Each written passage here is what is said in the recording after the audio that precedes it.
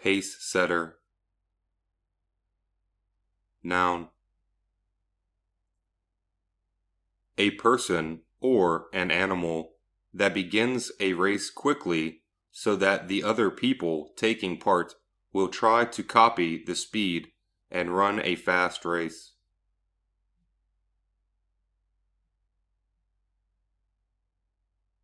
A person or team that is winning in a sports competition.